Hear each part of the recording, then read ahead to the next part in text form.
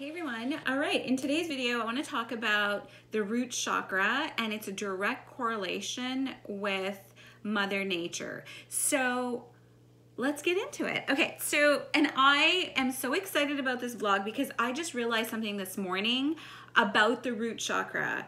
All right, so the root chakra is uh, located right at the end of your spine and it's your first chakra.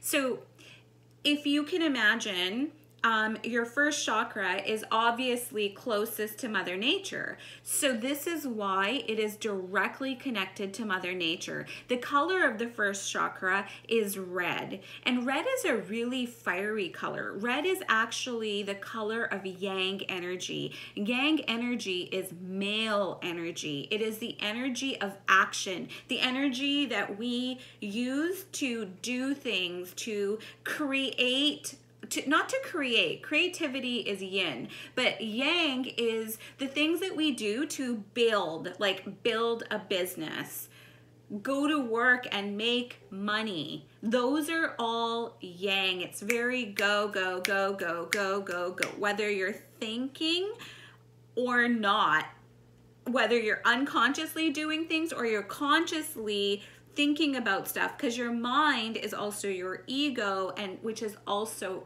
yang. Ego is also yang. So the root chakra is red in color. It's very fiery, therefore it's yang. And it's also the ego. It's also the root of the ego. Isn't that interesting? I think that is nuts. So the root chakra, I visualize it when I would do my meditation um, I would visualize, because I always sit on the ground, so I would visualize like roots, like tree roots, going from my root chakra, from my, so the bottom of my spine, right into the ground. And that's how I would connect with Mother Nature in my mind's eye. And that is also how I would connect to the trees and the animals. I would become one with Mother Nature. Now, the interesting part of the root chakra for me in my spiritual journey, and I just realized this today, is that the last chakra that I have really opened up and connected with is the root chakra. So the root chakra represents stability, safety, and security okay? And if that chakra is imbalanced, you're gonna feel very scattered in your energy. You'll feel anxiety, you'll feel fear. If I'm looking down, it's because I'm just looking down at my notes that I've written for you guys. Okay, so in my spiritual journey, and the reason I want to share this is because I think so many of us do this in our, because if I did it, I'm sure there's so many other people that do this too. Okay, so, oh, this is so crazy. I'm so excited to share this. Um, so what I realized in my spiritual journey over the last like 15 years now, I have been really good at opening up all of my chakras. And just last year, so what I did was I opened up my crown, my my third eye, my throat, my heart chakra, my solar plexus, which is everything to do with creativity, and my sacral, which is just under the navel. And the last to open up was is right now I'm working on is the root. And this I think happens to people that are in their spiritual journey. We begin to connect our top halves. So the top half is more with the ether with God, whereas the bottom three are more with like Mother Nature and this dense earth, this life here.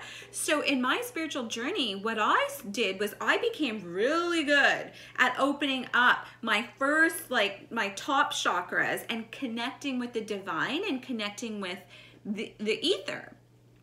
But what I didn't do as well was to open up my sacral and my root. Those were the hardest. And the sacral chakra is right above the root chakra. I don't want to talk about the sacral chakra right now because I don't want to confuse anybody. So I'm realizing today that my root chakra has been the cause of me not feeling secure or stable or safe in life because I opened all this up so quickly, not so quickly, decades, like years. So I've been working on I all of the top chakras that I forgot about the root. And it wasn't until last year, last year I had this like epiphany and I felt like I don't want this entrepreneurial life. Maybe it's not for me. Maybe this whole entrepreneurial thing came from my ego. And I did a vlog about that. I'll link it below. Um, maybe it all came from my ego. When I started questioning that, that's when I erased all of my vision board, erased everything off, and I wrote on my vision board as big as could be um, uh, from the end of 2019 and all of 2020, my main goal is going to be to feel secure and safe and stable in love and in finances. I want absolute freedom, safety, stability in love and in finances. And it wasn't until this morning that I realized oh my God, it was my root chakra the whole time. And the reason I'm feeling it right now is because my root chakra is opening. And some of the signs of the root chakra opening, so when your root chakra begins to open, you actually become more yin. Isn't that funny? Because the fiery root chakra, which is yang, it becomes more yin and yin is female energy. It's not male. Yang is male energy. Yin is female energy. It's very very soft and subtle and quiet and loving. Everything that yang is not. So and it's cooling. So so the coolness of the yin begins to balance the fiery side of the yang. And when I started realizing that my root chakra, like today I realized I'm acting like a, no, today when I was like, oh my God, my root chakra needs balancing and healing because I'm more yin now. I don't need, I have given myself, so in my life, I gave myself so much instability financially with entrepreneurship that and because all these other chakras were open, I actually gave myself a lot of isolation, no love. I never, that's why my, uh, above the root, I said the sacral chakra.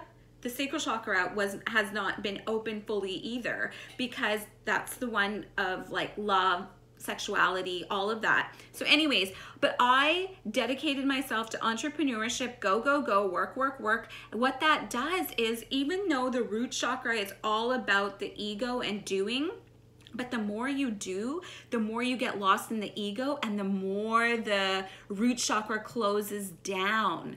And it wasn't until I found my yin energy to open the root chakra back up that and and here's the sign. When you know that your root chakra is opening when you start to feel one with the tree outside like you actually want to go hug a tree. I'm not even kidding you. Or you notice animals are coming to your doorstep more. I had two raccoons at my just waiting for me at my door yesterday. They come and hang out in my back. I have cats i have birds all these. I've noticed an influx of animals coming to me. This is since i became yin and this is because my root chakra is opening up and that's what that was the energy that I just took the um, my uh, cleaner, clean my whiteboard and wrote, I want stability and I want security. It's because my root is opening up.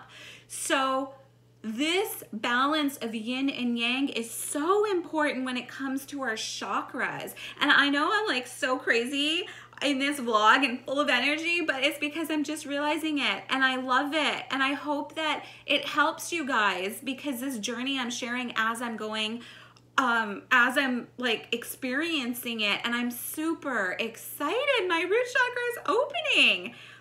So that might mean love is coming. That may, might mean an influx of financial abundance, security, stability. I said on my board in money and in love. Wish me luck, guys. Love you. Tell me what your root chakra experiences have been. Now I can take a breath.